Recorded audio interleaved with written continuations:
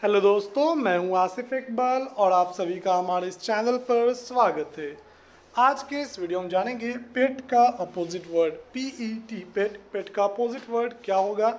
आज के इस वीडियो में हम लोग जानने वाले हैं। तो दोस्तों, पेट का अपोजिट वर्ड होगा wild W I L D wild pet का अपोजिट वर्ड वाइल्ड तो दोस्तों, आज के इस वीडियो में इतना ही। फिर मिलेंगे एक नए वीडियो के साथ। तब तक के लिए चैनल को सब्सक्राइब करें, वीडियो को लाइक कर दें।